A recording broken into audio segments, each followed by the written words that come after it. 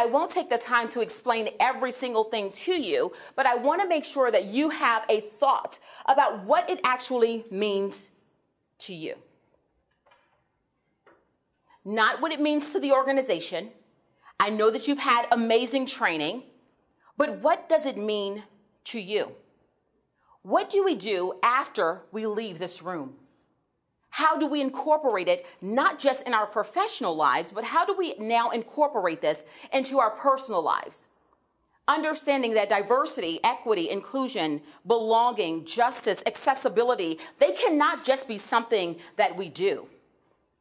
It has to be who we are.